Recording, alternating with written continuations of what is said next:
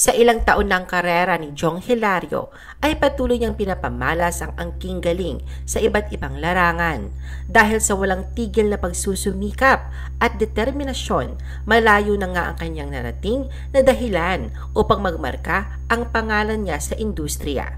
The Philippine Showbiz List presents the success story of Jong Hilario. Career Beginnings Taong 1993 nang sinimula ni Jong ang kanyang karera bilang isang mananayaw kung saan isa siya sa miyembro ng sikat na all-male dance group na Street Boys. Pero lingid sa kaalaman ng marami, aminado si Jong na nung una ay wala talaga siyang talento sa pagsasayaw at tila aksidente pangaraw ang pagkakasali niya sa grupo.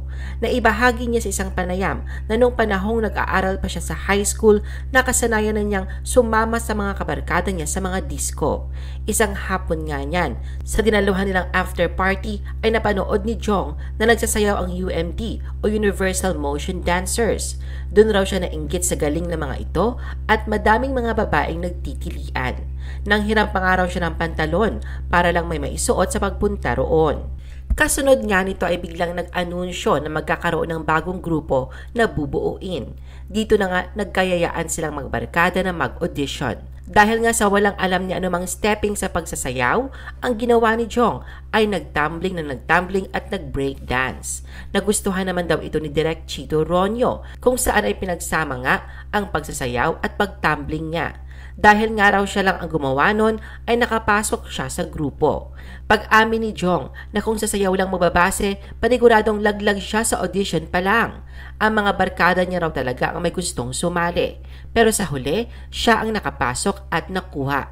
Nang makapasa at maging opisyal na bahagi ng Street Boys, dito na raw niya inaral ng maigi ang pagsasayaw na kalaunan ay naging choreographer pa siya. Siya ang nagturo sa mga kasamahan niya sa pagsirko-sirko at break dancing. Acting career sa unang limang taon ay puro pagsayaw ang ginawa ni Jong hanggang sa subukan niya ang pag-arte at nakilala sa bida kontra bidang papel. Masasabi nga raw niyang aksidente din ang pagkakadiskubre sa kanya bilang aktor. Kwento ni Jong nang minsang maghanap ng talent ang namayapang direktor na si Marilu Diaz Abaya para sa gagawing pelikula ay pinadala ang co-dancer niyang si Spencer Reyes. Ngunit ang mabasang araw ni Spencer ang script ay umatras ito dahil sa 1950s ang takbo ng kwento at kinailangang tanggalin ang bagong kabit itong braces para bumagay sa proyektong gagawin. Dito na nga pumasok sa eksena si Jong at siya ang pinadala upang masubukan. Probinsyanong araw ang datingan niya kung saan ay pinaakyat siya sa puno ng niyog at dahil nga sa laking kalye, madali lamang ito para sa kanya. Dito raw ay nakitaan siya ng potensyal sa pag-arte.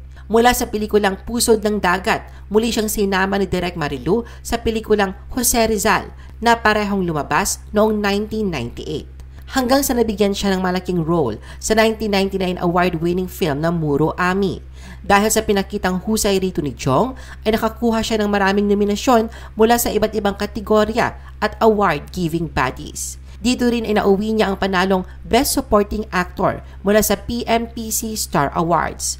Anya, hindi niya makakalimutan ang pagkilalang ito dahil sa ito ang unang award na kanyang tinanggap na labis niyang pinagpapasalamatan at napansin ang kanyang pinaghirapan.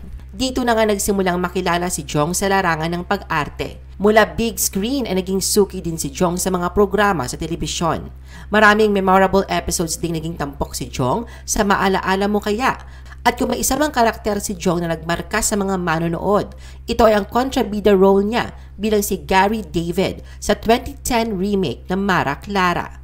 Katunayan ng mga panahong yon, kinailangang i-give up ni Jong ang It's Showtime para sa naturang serye. Bagamat naroon ang kanyang agam-agam na iwanan ang programa, naisip niyang magandang oportunidad ito upang makita muli ng mga tao na kaya niya pa rin umarte. Dahil nga rito ay nakakuha siya ng nominasyon bilang Best Drama Actor sa 25th PMPC Star Awards for TV at Outstanding Supporting Actor in a Drama Series naman mula sa Golden Screen TV Awards. Muling nagpasiklab si Jong sa kanyang husay bilang aktor sa FPJ's Ang Probinsyano, kung saan ay ginampanan niya ang isa sa most hated character na si Alakdan. Dito nga ay nakuha niya ang panalong Best Television Supporting Actor mula sa Golden Laurel LPU Batangas Media Awards 2019.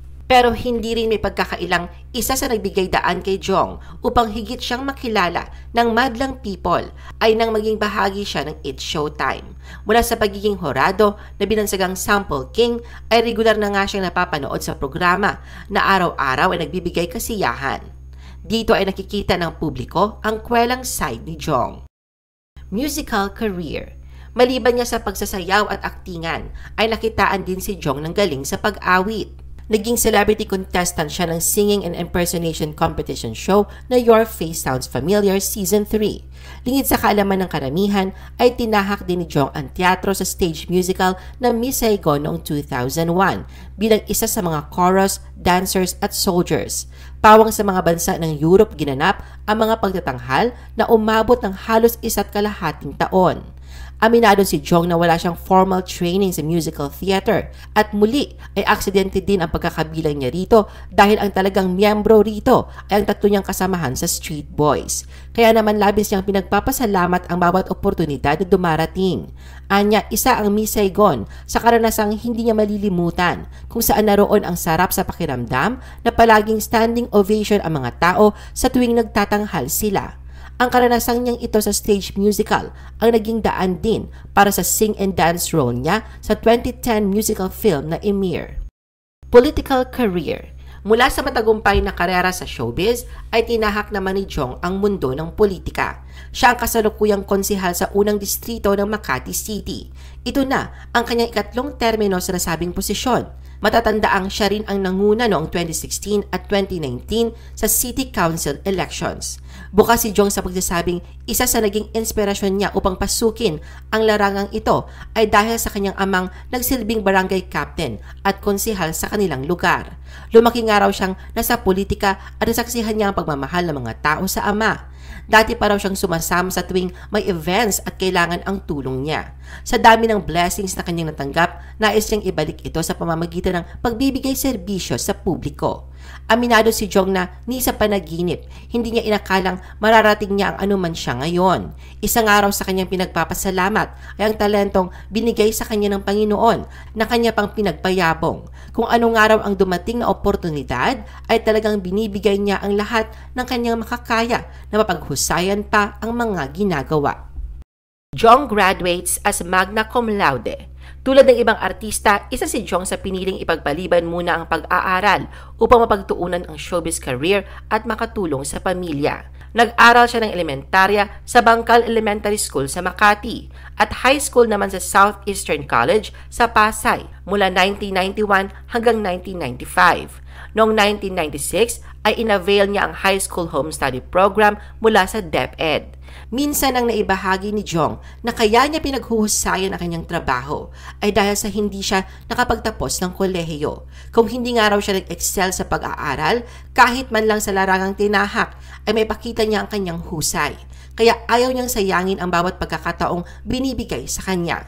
Pero sadyang wala sa bokabularyo ni Jong ang salitang pagsuko. Puno siya ng mga pangarap sa buhay kung saan ay naroon ang matinding determinasyon at pagsusumikap. Katunayan, kamakailan lang ay napagtagumpayan niya ang isa sa matagal ng minimithi. Proud moment para kay Jong ang makapagtapos ng kolehiyo sa edad na 46. Nitong June 14, 2023, nagmarcha siya bilang magna cum laude kasama ang kanyang mga kaklase sa kursong Political Science sa Arellano University. Makikita pag-akyat ni Jong sa stage upang tanggapin ang kanyang medalya at diploma. Habang nasa gitna ng entablado ang tinaguri ang Sample King, bigla siyang hinirita ng kanyang batchmates na magbigay ng pasample na kanya namang pinagbigyan. Sa isang panayam sinabi ni Jong na alay niya para sa kanyang mga magulang ang pagtatapos niya ng pag-aaral sa kabila ng kanyang edad. Masaya din siyang natupad ang pangakong ito sa mga magulang na nariyan pa ang presensya ng mga ito. Nagbigay din si Jong ng mensahe sa lahat ng nais ding makapagtapos ng pag-aaral.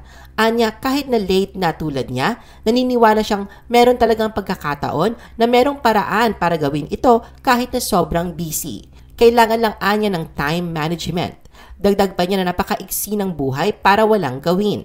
Samantalang sa Instagram post ni Jong, ibinida niya ang kanyang graduation photo, suot ang toga. Gaya ng inaasahan, bumuhos ang komento ng pagbati mula sa mga netizens, mga kaibigan, pamilya at mga kasamahan niya sa industriya na masaya sa bagong tagumpay na kanyang nakamit. Kasama din sa tagumpay na ito ni Jong, ang kanyang munting pamilya na siyang isa din sa nagsilbi niyang inspirasyon, ang kanyang partner na si Maya Azores at ang kanilang unika iha na si Sarina. I-post ang inyong comments at reaction sa baba.